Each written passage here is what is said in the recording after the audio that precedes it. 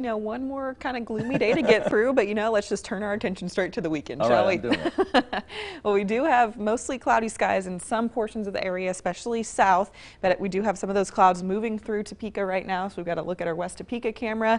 Traffic starting to pick up on I-70 this morning, and temperatures where we have those clouds were slightly warmer. Those clouds acted like a little blanket for us, so feeling or temperatures sitting at 36 degrees in Topeka, 35 in Emporia, but we're cooler where we have clear skies overhead, so 31 degrees in Junction City, 27 in Clay Center, and 28 degrees in Marysville.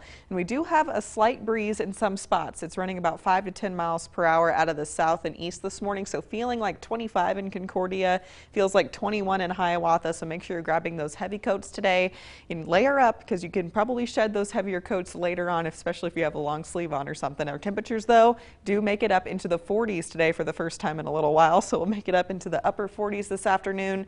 Tonight, we should drop back into the upper 30s, so we'll stay above freezing today and tonight. And that's some great news because we will have some rain in the area, so that should stay as all liquid today and tonight. Coming up for tomorrow, we'll be in those upper 40s to near 50 again, and we should have some sunshine coming up for the afternoon. Now here's a look at our upper level flow here. So we have this uh, cutoff low pressure system really spinning off uh, New Mexico, getting ready to get into uh, Texas and then continue to push its way off to the east.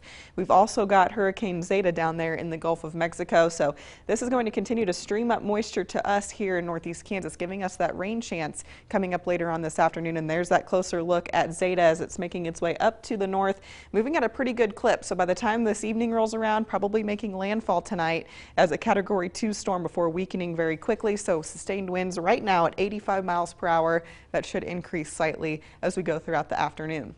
Here closer to home, we'll take a look at our future track to get you those rain chances for us.